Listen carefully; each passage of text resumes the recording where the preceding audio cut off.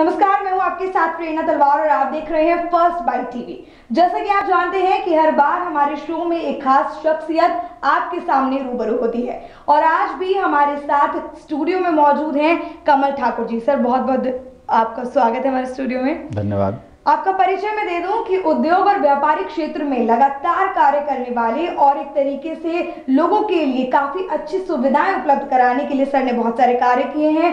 उन्हीं से जानेंगे कि इस दौड़ में वो कब से दौड़ रहे हैं और किन किन लोगों ने उनका साथ दिया और कैसा उनका सफ़र है। अब तक का बताइए, सर। हाँ मैं इस समय मतलब एक औद्योगिक क्षेत्र विकसित कर रहा हूँ जिसका नाम विश्वकर्मा इंडस्ट्रियल इस्टेट है। उसके माध्यम से गत दस वर्षों से मैं उद्योग क्षेत्र में लगातार कार्यरत हूँ। और उसमें अनेकों समस्या आती थी तो हम जिलाधिकारी के माध्यम से एक अपने शहर में उद्योग बंधु की एक बैठक होती है। वो तीन माह में जिला उद्योग बंधु की बैठक हमारे जिलाधिकारी उन समस्याओं से हमारे साथ रूबरू होकर उन पर हमको निदान दिलाते हैं। लेकिन कई बार कुछ समस्याएँ इस प्रकार से आ जाती हैं कि जिनका निजी हेडक्वार्टर पर समाधान संभव नहीं हो सकता है। उसके लिए वो उनको शासन रेफर करते हैं। तो इसी प्रकार से कुछ एक ऐसी समस्या आ गई थी कि जैसे विकास शुल्क को लेकर थी। हमारे यहाँ टेलीस्कोपिक पद्धति से विकास शुल्क वसूला जा रहा था जो 2014 से 2019 तक लिया गया है। उसमें दिक्कत आ रही थी, जो बड़ा भूखंड का भाग होता था, उसमें एक पत्रावली पर तेरह लाख रुपए ज़्यादा वसूला जाता था। हम लोगों की डिमांड थी कि गुणक घटक के आधार पर शासन कहता है, वही उसकी शासन की मंशा है। आपको उसी दर से इसको वसूलना चाहिए। वो बात लिखकर शासन गई और हम लोग शासन गए। शासन में अपना पक्ष रखा और हमारी बात सही मानेगी। और उसमें एक पत्रावली पर अब तेरह लाख रुपए की विकास शुल्क की दर कम लगती है। दूसरा एक बड़ा बिंदु ये आया विकास शुल्क की गणना। हमने कहा कि 2003-4 में एक शासन आदेश आया जिसमें लिखा गया कि भाई जो खाली भाग है उस पर विकास शुल्क की देयता नहीं बनेगी। हमने जिलाधिकारी सर को समझाया कि सर घर बनता है 180 मीटर से लेकर साढ़े तीन मीटर तक और उद्योग लगता है एक हज़ार से बीस हज़ार वर्ग मीटर तक। अगर विकास दर सामान्य होगी तो एक तरफ़ तो एक लाख अस्सी हज़ार लगेगा लेकिन एक तरफ़ दस लाख से लेकर दो करोड़ तक लिया जा सकता है जो अत्यधिक है। उसके लिए उन्होंने हमारा सहयोग किया जिलाधिकारी जी ने हमें शासन भेजा शासन में जिला उद्योग बंधु में हमारा पत्र लगा। जिलाधिकारी जी की तरफ़ से हमने रिप्रेजेंट किया वहाँ पर हमने अपनी बात रखी। जी। फिर एक बैठक प्रमुख सचिव आवास नितिन गोकर्ण सर के साथ हुई। एक नुमाइंदगी मेरठ विकास प्राधिकरण से हुई वहाँ के जो उत्तर प्रदेश के नगर नियोजक हैं वो हमारे साथ बैठे और आवास बंधु के जो हेड हैं उत्तर प्रदेश के वो हमारे साथ बैठे। और ये तय हुआ कि हाँ 2003-4 का जो शासन आदेश है उसको लागू करने के बाद शहर में औद्योगिक गतिविधियाँ बढ़ सकती हैं और नियम पूर्वक भी वो लागू होना चाहिए। उसका एक आदेश बन गया। आदेश बनकर मेरठ आ गया। मेरठ बनने के बाद यहाँ पर उसको स्वीकार्यता नहीं मिली। तदुपरांत हम वीसी सर से मिले और उन्होंने कहा कि इसमें कुछ कन्फ्यूज़न है दोबारा यहाँ से मेरठ से पत्र लिखा गया। दोबारा वहाँ से वही लिख कर आया कि इनकी ये छूटें बनती हैं। इसी दौरान पुनः ये एक पत्र अभी दूसरे सीटीपी मिश्रा जी आए थे उनके माध्यम से शासन को लिखा गया। हम्म। उसमें भी स्पष्टता ये लिखकर आया कि भाई जो दो तीन बिंदु की हमारी डिमांड थी हमने कहा कि भाई इंडस्ट्री में गोदाम अनुमन्य क्यों नहीं होगा? गोदाम की अनुमतता हमें दी जाए उस पर ये लोग इम्पैक्ट फ़ीस लगा लेते थे तो शासन ने कहा कि अगर उद्योग की आवश्यकता है गोदाम तो उसका इंटीग्रेटेड पार्ट मानकर उसको अनुमन्य किया जा सकता है। फिर हमने डिमांड किया था कि अगर कोई बड़ा क्षेत्रफल है पूर्व में विकसित हो चुका है उसमें कुछ भाग और जोड़कर उसे विकसित उद्योग किया जा रहा है तो दोनों को जोड़कर जो उसका क्षेत्रफल आता है उस पर गुणक घटक आधार पर आप लीजिए। तो उसको भी अनुमन्यता हमको मिली और फिर आप वर्तमान में अपने वीसी राजेश पांडे जी आए जो। बहुत पॉजिटिव एटीट्यूड के हैं। उन्होंने जब उनसे जिला उद्योग केंद्र मिला और उन्होंने कहा कि भाई उद्योग बंधु की बैठक है और इस पर शासन बार बार हमसे पूछ रहा है कि ये आदेश अनुपालन हुआ या नहीं हुआ है। तो राजेश पांडे जी के माध्यम जी से वो एक पत्र जारी हुआ मेरठ विकास प्राधिकरण से उद्योग बंधु के लिए कि भाई ये जो आदेश था, इसकी अनुमन्यता हमने मान ली है और इसी प्रकार से मेरठ विकास प्राधिकरण में अब कार्य आगे के किए जाएँगे। औद्योगिक मानचित्र इसी तरीके से पास होंगे। और अब मुझे लगता है कि शायद उसकी अनुमन्यता देकर उन्होंने कवर्ड एरिए पर और जो 2003-4 का शासन आदेश आया हुआ है उसके आधार पर उद्योग को छूट देने की बात कर रहे हैं। तो जो चीज़ काफ़ी पहले हो जानी थी उसमें बार बार पत्र लगाने की ज़रूरत पड़ रही है। बार बार इसमें आप किसकी गलती मानते हैं कि वो जो अनुपालन हो जाना चाहिए था काफ़ी समय पहले उसमें काफ़ी देर लगी? अब इसमें कारण क्या है कि कुछ विभागीय कुछ लोग रहते हैं जो अपनी बात को कई बार पुष्टि करने के लिए बार बार पत्र लिखते हैं जबकि जो शासन के मुख्य नगर नियोजक थे उन्होंने कहा कि जो डिग्री मेरे पास है वही वही डिग्री मेरठ विकास प्राधिकरण के सीटीपी के पास है तो जो मैं लिखकर भेज रहा हूँ उनको समझ लेना चाहिए। लेकिन उसी विषय को आप बार बार मुझको लिखकर भेज रहे हैं इसका मतलब जो मैं लिखा हुआ भेज रहा हूँ उसको पढ़ना उनका समझ नहीं आ रहा है। पर लेकिन जब तीनों बार उन्होंने उसी बात को रिपीट किया तो अपने राजेश पांडे जी ने उसे स्वीकार किया। लेकिन ये बात ज़रूर है कि इस प्रकार की पेंडेंसी से उद्योग को विराम मिलता है जबकि देश में प्रधानमंत्री जी प्रदेश में मुख्यमंत्री जी, जी। वो चाहते हैं कि भाई उद्योग लगे रोज़गार मिले लोगों को रोज़गार का सृजन नहीं हो पा रहा है तो इंडस्ट्री एक ऐसा क्षेत्र है कि जहाँ एक एक बड़े उद्योगपति हैं। देश में जिनके यहाँ एक एक लाख लोग कर्मचारी के रूप में कार्यरत रहते हैं ये रोज़गार के सृजन का एक बड़ा भाग है औद्योगिक क्षेत्र। मैं चाहूँगी सर आप उस पर थोड़ा प्रकाश डालें कि हाल ही में आप इन्वेस्टर्स मीट आप अटेंड करके आए हैं वहाँ पे क्या आपने मेरठ की तरफ़ से वहाँ पे बिंदु ऐसे पेश करे या फिर क्या वहाँ से तोहफा शहरवासियों के लिए लेके आए? शहरवासियों के लिए तो हमने यही वहाँ पर जाकर कुछ बिंदु रखे थे और वैसे हमको इसलिए बुलाया गया था क्योंकि हमने एक पच्चीस एकड़ हम औद्योगिक क्षेत्र विकसित करेंगे, इसका एमओयू सरकार के साथ साइन किया था, जिसमें हमने बारह एकड़ विकसित किया हुआ है, बचे हुए भाग, जो भाग हमने बनाया है, उसको बना भाग मानकर ग्राउंड सेरोमनी के लिए हमें मुख्यमंत्री जी के द्वारा वहाँ बुलाया गया था।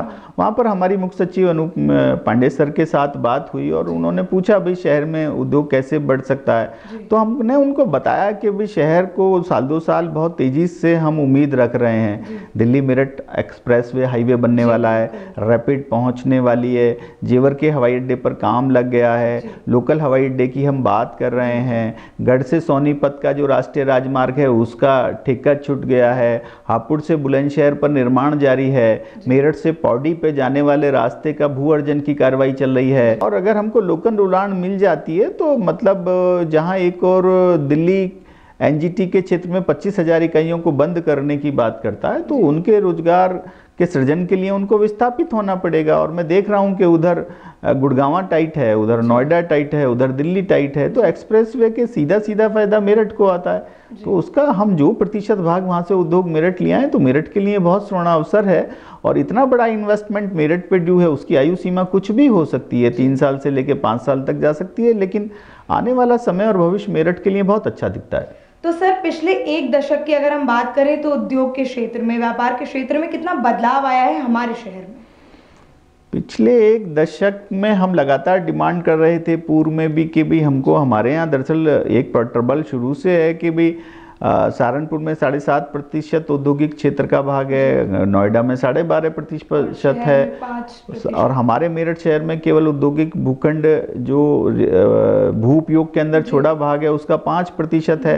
और उसमें उन्होंने कहा है अभी हम लोग ये लड़ाई लड़ रहे हैं कि भी ये केवल मेरठ विकास प्राधिकरण को ही पावर दी जाए हम्म। कि वो हमारा मानचित्र अर्धनगरीय एग्रीकल्चर में पास कर दें, लेकिन अभी उन्होंने कहा है कि आप उस पर परिवर्तन शुल्क नहीं लेंगे, लेकिन वो शासन मांगा जाता है और शासन मंगाए जाने के बाद उसमें थोड़ा समय किल हो जाता है। लेकिन सरकार की मंशा है उद्योगों को बढ़ाने की। अगला सवाल, सर, मेरा ये है कि अगर हमारे शहर में लोगों को बाहर से आके इन्वेस्ट करना हो या फिर कोई बड़े इन्वेस्टर्स यहाँ पे इन्वेस्ट करना चाहते हैं तो उसकी क्या क्या चीज़ें लोगों को ध्यान में रखनी होती हैं या फिर कितना गवर्नमेंट से उन्हें फ़ायदा है कितना प्राइवेटाइजेशन में फ़ायदा है इस पर थोड़ा प्रकाश डालें। इसमें इन्वेस्टमेंट के लिए मैं आपको बताना चाहता हूँ कि अब से पूर्व में तो ज़्यादा बहुत ज़्यादा फ़ायदा मैं नहीं बता सकता था लेकिन जब से जीएसटी लागू हुआ है तो एक समान कर प्रणाली देश में लागू हो गई है। और जब समान कर प्रणाली पूरे देश में लागू हो गई है तो आज वर्तमान की स्थिति मेरठ की इतनी अच्छी है कि मेरठ एक ऐसा स्थल बन चुका है कि जिससे पाँच राज्य जुड़ते हैं। आप आगे सीधे चले जाएँगे तो उत्तराखंड आ जाएगा आप इधर चले जाएँगे यूपी आ जाएगा आप दिल्ली की तरफ़ चले जाएँगे दिल्ली चला जाएगा।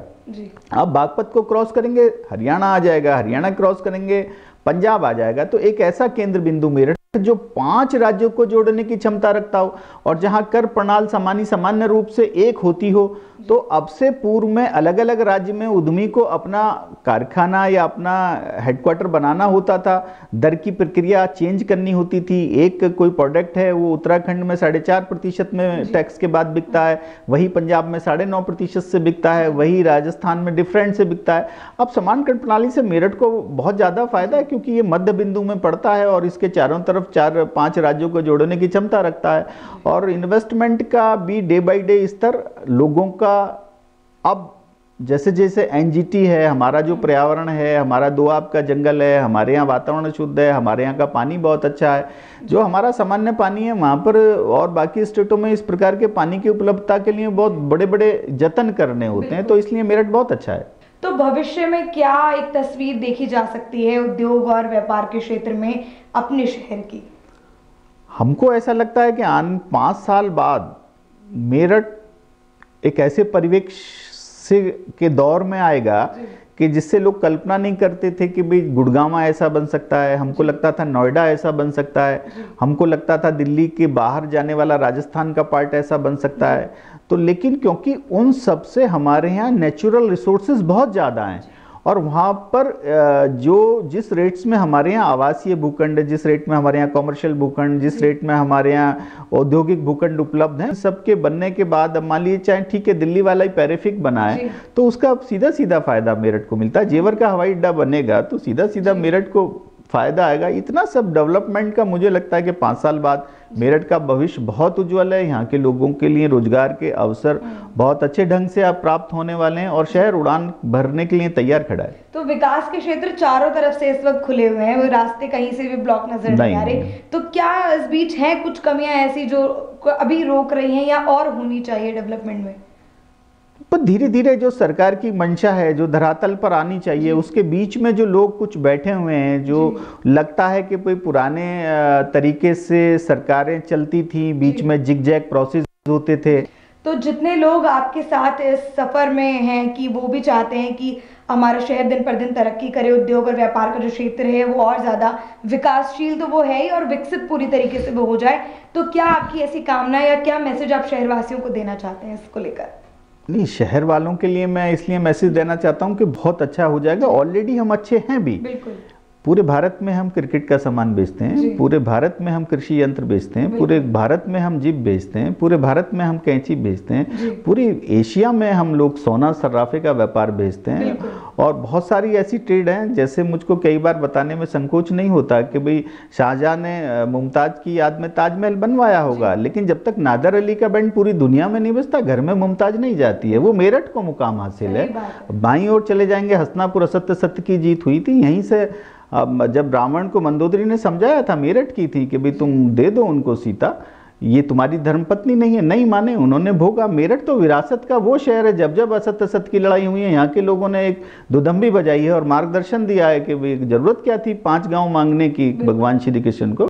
उन्होंने कहा नहीं भाई पाँच तो देने पड़ेंगे आपको एक धर्म युद्ध हुआ। तो जब जब मेरठ को ऐसे इतिहास की आवश्यकता पड़ेगी तब तक मेरठ का उद्यमी वैसा ही सब लोग कंधे से कंधा लगाकर डंडे से डंडा लगाकर डंडे में झंडा लगाकर ढोल थाप दुदम्बिया रणभेरिया बजाते हुए अग्रसर रहेंगे और मेरठ के अच्छे मनोभाव के लिए कार्य करते रहेंगे। तो ऐसे ही हम भी कामना करते हैं। फ़िलहाल इजाज़त दीजिए लेकिन सर का जो कुछ कहना है इस वीडियो को शेयर करके लोगों तक इस बात को ज़रूर पहुंचाएगा और हमारा शहर ना सिर्फ़ अपने शहर में विकसित होता जा रहा है बल्कि पूरे देश में मेरठ अपना नाम कमा रहा है। लगातार ऐसे ही नाम करता रहे ऐसी हम सबकी कामना है बहुत बहुत धन्यवाद सर हमारे स्टूडियो में आने के लिए। थैंक यू सो मच नमस्कार।